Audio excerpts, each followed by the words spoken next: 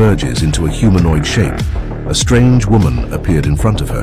Turns out, she's just a witch who has been sealed for thousands of years. The queen never imagined it. The witch released by oneself, it actually exists to destroy the entire world. A very exciting and thrilling magical movie. If you haven't seen it yet, strongly recommend watching the original film. I promise I will never disappoint you.